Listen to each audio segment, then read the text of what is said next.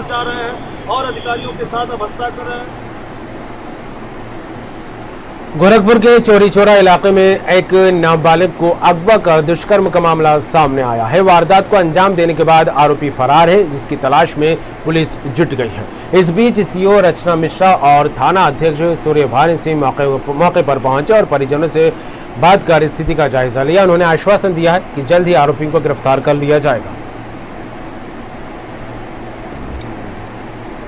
और दो, दोनों जेठानी की लड़की और हमारा लड़का आगे निकले एक पीछे हो गई और वो दिन दयाल हमारी लड़की को बुलाया और हाथ पकड़ के मुँह बाँध कर उसको गर्मी के खेत में ले और लिटा कर उसके साथ कार्रवाई यही चाहते हैं कि इसके ऊपर सख्त सख्त कार्रवाई हो। हमने मौके पे पहुँच करके बच्ची उसके परिजनों से बात की। घटना दर्ज कर आगे गिरफ्तारी के लिए दो टीमें लगा दी गई हैं जो